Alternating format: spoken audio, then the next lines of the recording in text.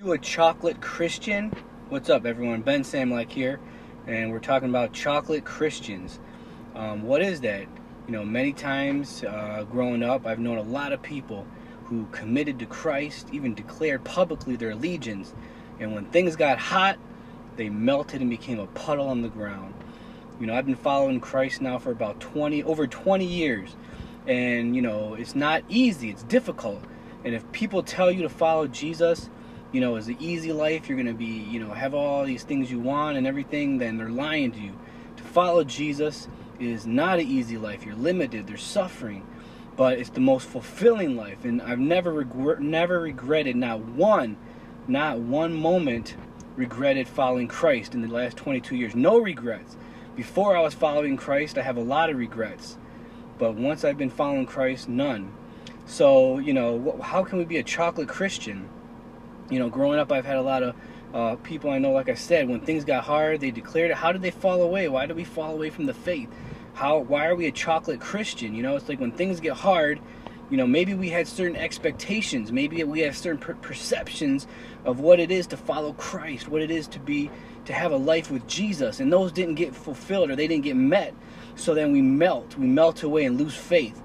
So I believe, I truly believe, and according to the Bible, from what I see, if you believe in Jesus, you are saved. You're a child of God, and He will never let you go. He'll never forsake you.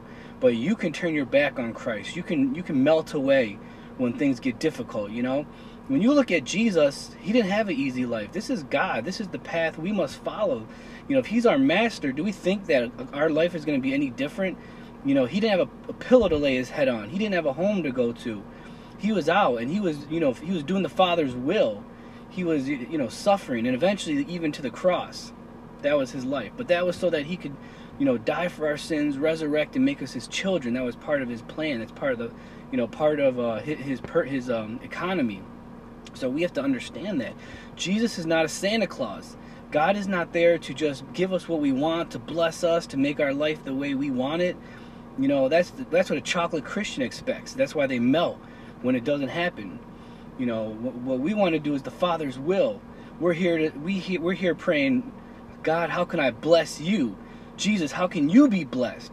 And if that leads us to suffering, if that leads us to hardship, then we should we should if we understand that, we won't melt away. We'll say this is what we got into and we knew it. But but we have to understand in that limitation, in that suffering, then we find fulfillment just like a father caring for his babies, waking up at 2 in the morning to make sure they eat, you know, losing sleep. That's hard, that's difficult.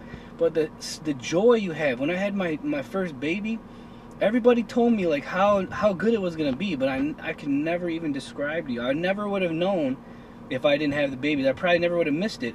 But once you have that baby and you are taking care of that baby and pouring out and loving them you have an inner joy. And I think that's for all human beings, whether you're, you know, five years old and you share something with your brother or sister, that gives you an inner joy. When you give up, when you, you know, love, when you serve God and his and his people, how fulfilled you feel, you know?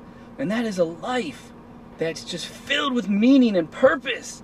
And that's a life that you can just always sense that you're right with God. And God is there pouring out and supplying.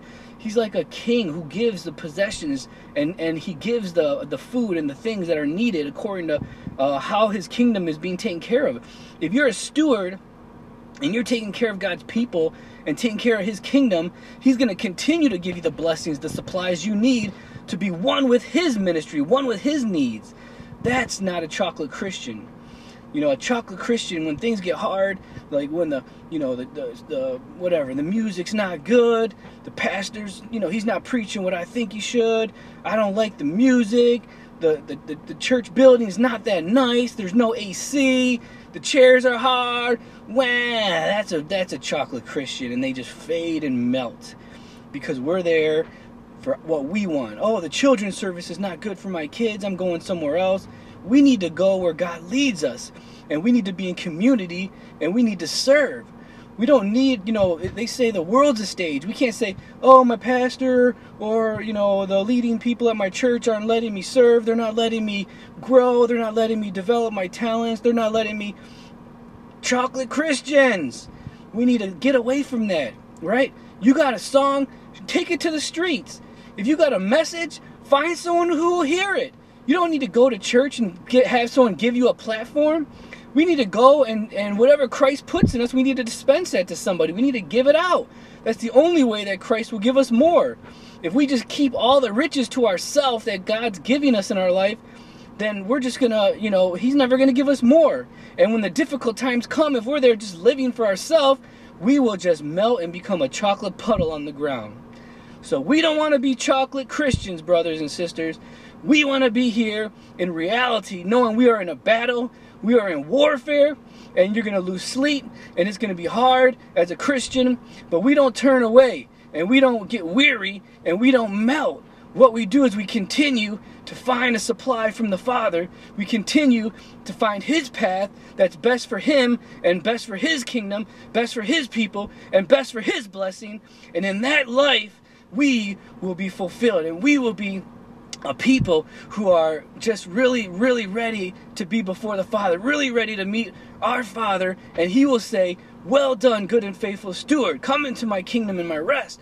That's what we are attaining to. This life is a life of, of uh, struggling, striving, running, working, laboring, co-laboring with Christ, co-laboring with God, and, and going towards the prize, seeking the prize which is above, forgetting the things which are behind, stretching for, stretching, stretching to what is before.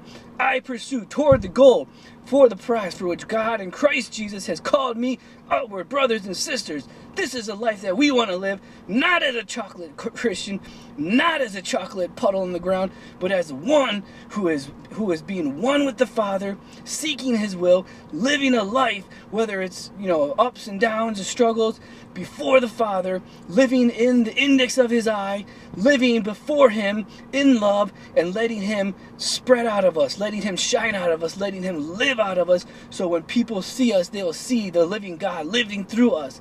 When they come to the church, they'll see the living God. That's what the church is the house, the pillar, the base of the truth. And great is the mystery of godliness, God manifested in the flesh. What is God manifest in the flesh? That's the church. So when people want to see God, it should be in the church. Not a bunch of chocolate Christians, but a bunch of people who are living, pouring out, laboring, loving, living, dying for Christ in the church and for God and His economy. Praise the Lord. Thanks for watching.